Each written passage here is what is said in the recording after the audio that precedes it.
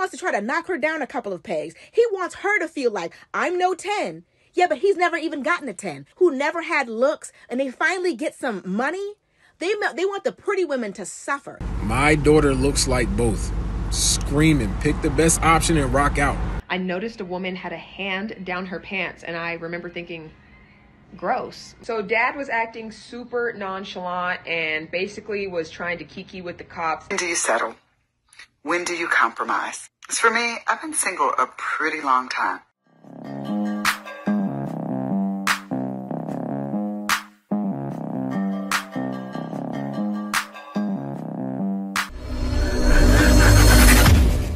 Hey guys, welcome back to More to Life. Before I get into this video, I ask that you like, comment, subscribe. Also, smash that notification bell just to be sure you get on my videos as soon as I release them. Let's get right into this. Mm-hmm. I've said it before and I'll say it again. When you are out of a man's league, he will do everything that he can to humble you. My mutual sent me this, and I think it's the perfect example of just that. He always tells me that the reason he fell in love with me is because he's like, you're an eight and a half at everything. He's like, you're not a 10 in looks. You're not a 10 as an athlete. You're not a 10 in brains. He's like, but you are a solid eight and a half at everything you do. And to me, this is a red pill tactic that a lot of men learned from Kevin Samuels. How was that a red pill tactic? Of course, in his eyes, she's beautiful, but he's being honest. He's giving her a, a great grade. She's not an eight and a half. and in looks, maybe in her uh, other things, she's eight and a half. But looks, no. And he probably says she's eight and a half in looks too. Samuels. When ladies would call into his podcast, he would ask them to rate themselves from 1 to 10, but they couldn't choose 7. And no matter what number they chose, he would always say that it was too high. This is how men try to humble you. They want you to know that they could do better. They want you to know somebody is prettier, somebody And you see how she lied? It was some girls that came on and said they were lower. Not very much, but a very few. And he admitted they were beautiful somebody is smarter, somebody is freakier, somebody cooks better, cleans better. They want you to feel like no matter how amazing you are, that somebody's better than you. Oh, absolutely. He wants to try to knock her down a couple of pegs. He wants her to feel like I'm no 10. Yeah, but he's never even gotten a 10. You being an eight and a half is still better than anything that he could ever get. And the only reason why you're entertaining him is because he has money. The kind of men who never had money, who never had looks, and they finally get some money, they, they want the pretty women to suffer. Huh? They want the pretty women who would have never given them a chance if they didn't have the money to suffer. They resent you. They feel like if I didn't have the money, she wouldn't even be here. They're mad at you for choosing them because they know in their heart the real reason why you did. Making a big deal out of nothing. Like always, never stops. Let me go on to the next one. Your natural body shape or your surgery body shape will change. The- people who were offended by that video, I promise you those type of people don't understand how the world works and don't understand that some things just is. Even if it hurts your feelings, it's the truth. A relationship reminds you how important it is to have that one true person who will bring out the good in you and see the best in you. And as a dark skinned black woman, I know this is the truth. This woman look at this woman here, right? Now think about the man she would marry. It would be a lot different from the man she would marry. Of this course. is a fact. This is a fact. If she was to ever get married, imagine what her man would look like. Right? It wouldn't be the same man as her. And this is what I feel like a lot of you guys don't understand different women attract different men, and different men attract different women. Whether that hurts your feelings or not, it just is what it is. This woman would absolutely attract a different man than this woman. That's a fact. That is a fact. All of these women will not attract the same man on average. Yes, there are outliers because nothing in this world is absolute, but on average, these women will not have the same men chasing after them. Point blank, period. Now, I literally Googled 15 billionaires' wives, right? Middle aged white men. And this is what their partners typically looked like blonde or black or brown hair, thin, and not overly curvaceous. Almost all, it was one who had a heavy set one. So understand, out of 15 billionaires, 14 out of 50, and she wasn't even heavy set, she just was a little bit heavier than her. So the people who are getting up, You know she's not understanding? What she the point she's missing that she's not even explaining. Billionaires want women that were like their mothers. Even those women that you showed, Sexyy Red and the other two, they weren't like my mother. Guys don't want them. And also, what she forgot to mention is those women want the hood booker dudes. They don't want regular guys. They want the guys that are usually up to no good. Or they want the guy six feet making a hundred thousand. So of course, I wouldn't go for that white girl, but I would go for another girl. Maybe that that black girl in the tights I would go for. See the point she's she's missing she's trying to address, you know, what they can get. And I don't really understand her point, but let's let's wheel it back in. These women are not fit for billionaires, even black billionaires. How about you address that? Let me get on to the next one.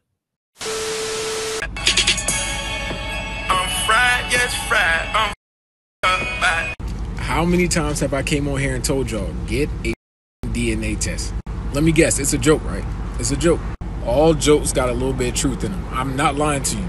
I if she do some joke like this, go get you a test and then look at the comments. Look at the comments. My daughter looks like both.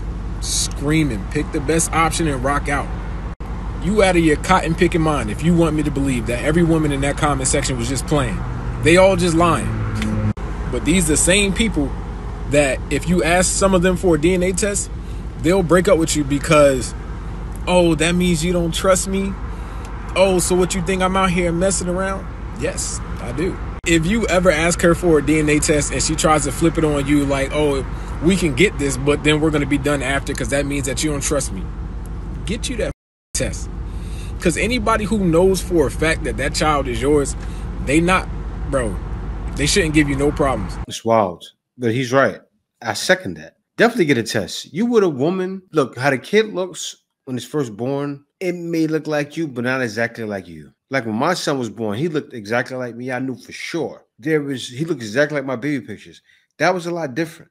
But for the most part, most men need to get the DNA test because women pit babies on the one who's more successful and keep their side dude and keep messing with him and may even have another baby with him. That happens to guys. I see it all the time. A guy will get a test and then figure out he was the second option his whole relationship of five years or his whole marriage. Definitely get a test because a lot of women are pulling this.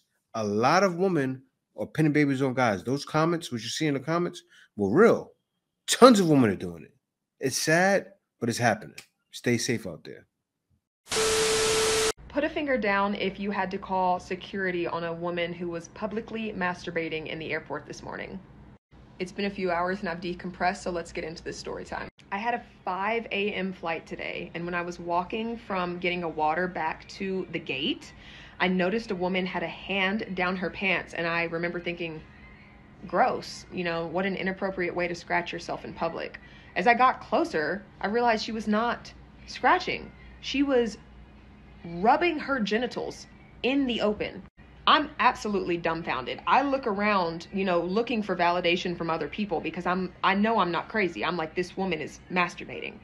Two Pakistani or Indian men look at me and kind of give me that like, yeah, we see that too. And I'm just sick. I decide to sit down. First mistake. But while I was sitting, I couldn't shake the fact that I just saw that in public.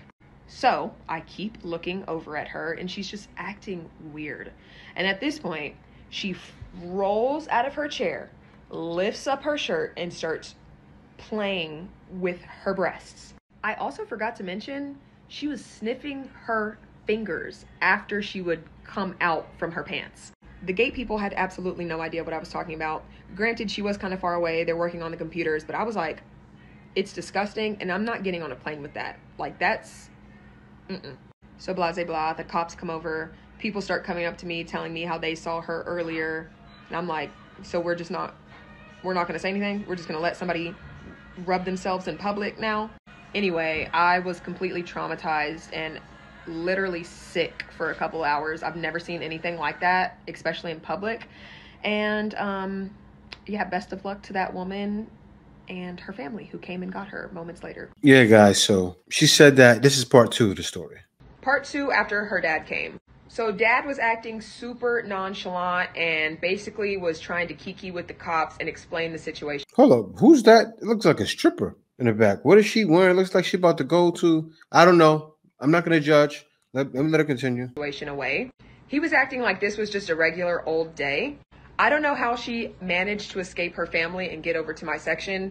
And the fact that the dad was acting like this was just every day, this clearly is a issue, a long-standing issue. So my plane started boarding and I was just glad that she was not on my flight. So by the time I boarded, was walking through the little gate, the cops were still there, her father was there, and they were just talking. I think they were just trying to explain the situation away.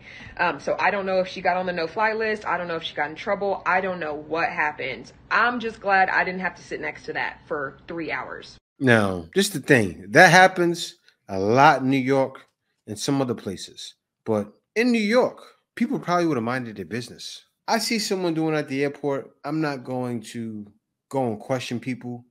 I'm gonna let it be. Sometimes you just have to let things go and let things ride, right? Now, of course, that girl probably has mental issues. That's what he was explaining away to the cops. But really, I don't see no big deal. I don't see why she stressed it.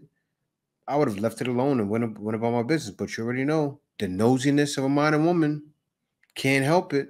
That lit up her day. She had something to talk about. She was a very happy camper after that. Gossip, gossip, gossip. She lived for it. And you guess who wants to hear? Everyone on TikTok. But the question is, when do you settle?